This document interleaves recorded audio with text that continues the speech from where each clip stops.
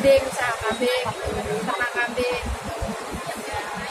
Insya ini eh, tahun depan mau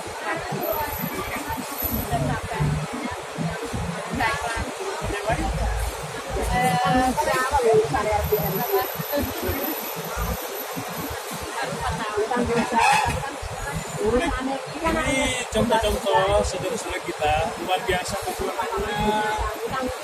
berjuang untuk masa depan keluarganya, untuk masa depan anak-anaknya, luar biasa perjuangannya salut.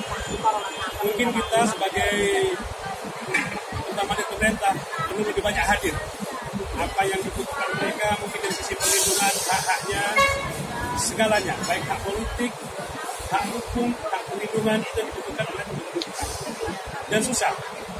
Yang mau yang bisa memahami mereka mereka ini adalah kita yang mau duduk sama mereka. Sekedar kita kunjungan dan mempertanyakan tanpa duduk sama mereka, susah untuk memahami apa-apa yang mereka butuhkan di lapangan. Juga dengan yang kemarin eh, badai Lombok gimana? sangat sangat jauh takut pak sini kita lagi sama berdoa juga kita semua sudah selamat ada tidak ada apa-apa tapi alhamdulillah ya diberi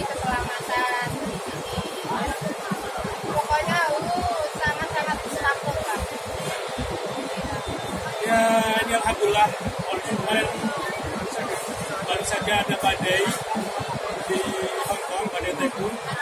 Alhamdulillah saudara-saudara kita, para pekerja migran di sini masih dalam lindungan Allah Subhanahu Wa Taala. Amin. Alhamdulillah mereka sudah bisa bekerja dengan aman dan nyaman. ya Amin, terima kasih ya pak Terus untuk ini, eh, mungkin selama ini banyak ini punya wakil ya, yang bisa menyampaikan aspirasi-aspirasinya untuk pemerintah pusat.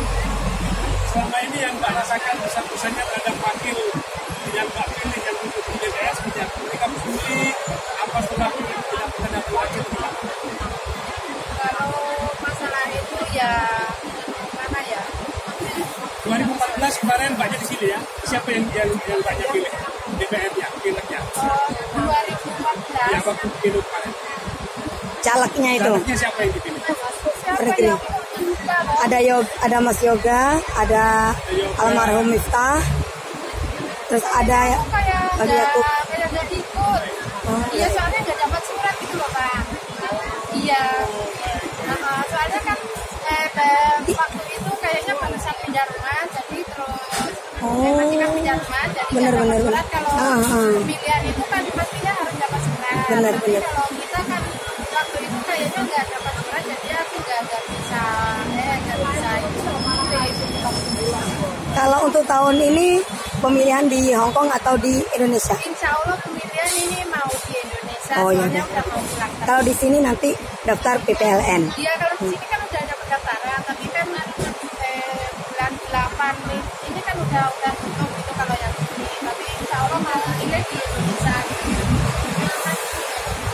luar biasa. Jadi begitu memperhatikan sebetulnya eh, teman-teman yang telah menitipkan suaranya mungkin pada eh, politikus-politikus legislatif dari pemilu ke pemilu cuma sangat disayangkan mereka sampai tidak mengenal wakilnya karena mungkin memang posisi wakilnya sendiri setelah selesai hajat politiknya tidak pernah menyapa dan tidak pernah peduli lagi terhadap eh, saudara-saudaranya. Ini harus dirubah. Siapa pun yang mewakili dapil luar negeri, siapa pun yang mewakili saudara-saudara pekerja migran, haruslah mereka peduli. Jangan jangan sekedar transaksional membeli atau melobi atau merayu suaranya, Betul. tapi setelah itu tidak pernah peduli. Saatnya saudara-saudara pekerja migran ini memilih wakilnya yang benar-benar dan benar-benar mewakili mereka. Yang bisa merasakan kebutuhan pekerja migran adalah yang memang, pernah bekerja sebagai pekerja migran. Karena tidak cukup tidak cukup mengetahui, tapi merasakan, feel, tanpa ada perasaan yang senasib. Militansi untuk membela akan susah. Demikian dulu episode kita kali ini dan kita akan berlanjut menemui, menyapa dan bersilaturahim dengan saudara-saudara saya pekerja migran yang lain. Terima kasih. Ya, Terima kasih Mbak. ya. Sama-sama. Sukses. Ya. Eh, Yes. Sukses.